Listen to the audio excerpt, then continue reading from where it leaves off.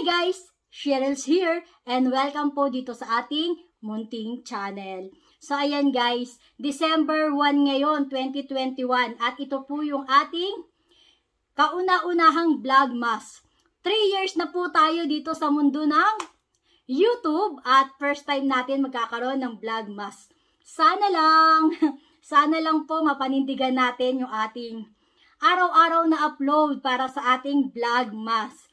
So, para po dito sa day 1 ng ating vlogmas, kanina po dumating po yung binili natin online sa online seller sa Facebook na alternative luxury bag. Yan guys. Order po siya ng aking pamangkin dahil wala siyang magamit na bag. So, binila natin siya online. At kahapon ko siya binayaran ano, pero, ngayong December 1, kahapon November 30, ngayon December 1, tanghali, dumating na yung ating order. Ganon siya kabilis. Ganon kabilis yung JNT mag-deliver. So, mula pa siya sa Pasay yata, papunta rito sa Bulacan. Bago ko ipakita yung ating unboxing ng alternative luxury bag, na kili-kili bag. Kung bago ka pa lang po dito sa aking channel, huwag mong kalimutan mag-subscribe at i-click po yung notification bell sa tabi ng subscribe button dyan para po every time na meron akong new upload, manonotify ka. Ito na po yung ating unboxing ng alternative luxury bag. Siya nga pala guys, no wait lang.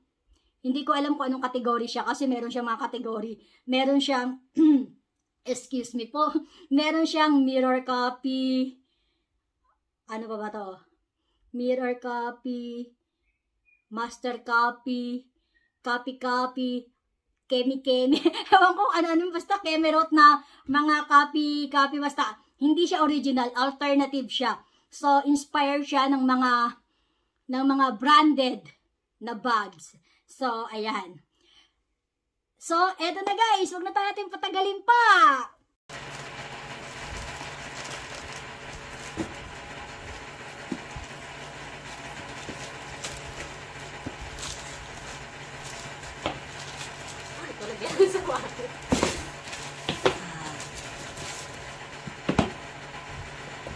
Ayi, ayi, ayi. ayi, ayi, ayi.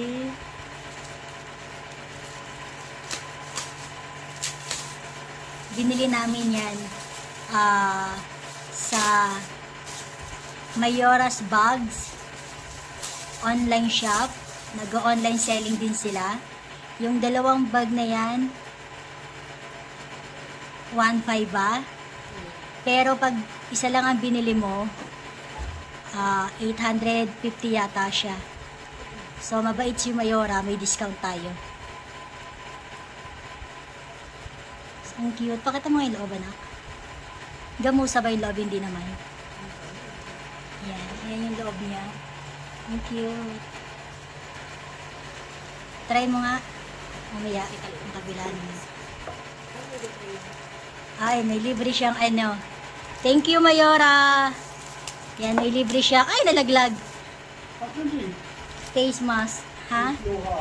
Mayora. The one who's sending the bag. Sabi ni Mayor. Ah, yun. No. Shout out nga pala sa Beads and Craft PH sa kanyang kuko. Yan, ang ganda. Online siya. Baka online selling. Ow. Ang tanggal. Sumabit ang kanyang kuko. Yan, dahil mahilig siya sa kili-kili bag. So, ayan. Ay, ang cute. Same yung dito sa loob. Ang cute ng Dior. Ano mo nga, testing mo? Ay, ang ganda. Ang ganda yung kabila. Ah,